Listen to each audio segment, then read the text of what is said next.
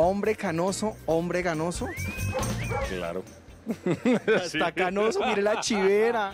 Sí, los añitos ahí se van notando. Los 28. Ja, pero quién sabe estar haciendo qué. Ya va a entrar a los 40, ¿cuándo? En octubre. Octubre 26. ¿Muchos regalos va a recibir? Este año creo que sí. Sí, ¿de quién? Ya recibí uno. Buenísimo. ¿De quién? ¿De quién? ¿De quién?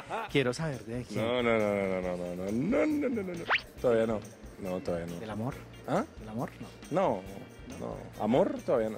Ok, Muy bien, eso me gusta. ¿De quién? ¿Algún carro, alguna casa, algo, algún material? No, nada material. Mm, Otras cosas más importantes. ¿Qué? Ay, ¿Preñó a alguien? ¿Preñó a alguien? No, no, no, no, no, no, no, no, no. No, no, no. Es que ahora llegan aquí varias a buscarlo. No, llegan cosas y personas bonitas a la vida de uno, amigos, amigas. Chévere. Laura García, bienvenida a la red. Gracias. Estás muy bella. Ah, bueno, muchas gracias. Como el vino. Entre más añejo y entre más le pasan los años, mejor. Yo creo. el buen vino, ¿no? El buen vino. Y tú eres un vinazo. Ah, eso sí. Se conserva muy bien, ¿ah? Gracias. ¿Cuál es la clave para estar así, tan radiante, tan bella? El agua y el aire. ¿En serio? Mm. Y con este aire tan feo que respiramos en Bogotá, ¿qué? Por eso toca salir eh, bastantes veces fuera de Bogotá para que la piel y todo funcione bien y tomar mucha agua es súper con un buen filtro, ¿no?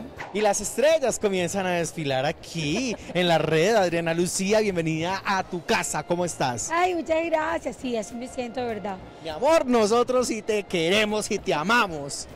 ¡Ole! ¡Ole! No, no, no. Ay, Dios mío, ¿qué uno que dice? ¿Cómo? No, nada. Que yo tú sí- quisiste, no. ¿Qué te hicieron? Pero eso dejémoslo por ahí. Venga, ya vas a lanzar sencillo tras sencillo y tras sencillo, ¿ah? Es que tengo muchas ganas de decir muchas cosas. Entonces- ¿Empieza? Claro, pero entonces mi, mi forma de expresarme es la música y voy a decir muchas cosas que quiero decir. Creo que voy a volver a hacer cosas en cine. Ok.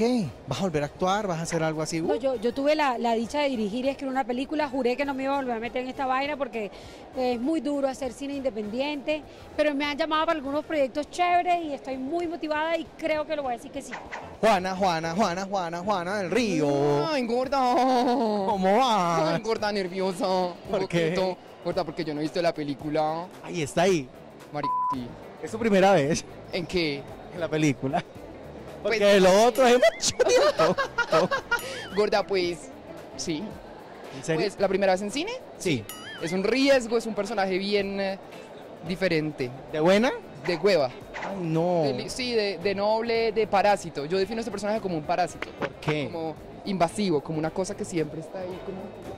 ¿Cómo va con la película por allá, la que está grabando para los del coronavirus? Grosera. No, no sea así. Cálmese. Cálmese. Pues está una nota, realmente la película es eh, Corea. Todos son coreanos, una Ah, nota. ok, no es por allá. No, es. Corea, ¿Dónde tienes que grabar? por ahí.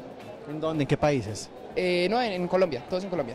Ay, no, ay, no, me joda que le ¿O sale no? una película coreana O no. y le toca quedarse sé. acá en ¿En Colombia. Colombia o no?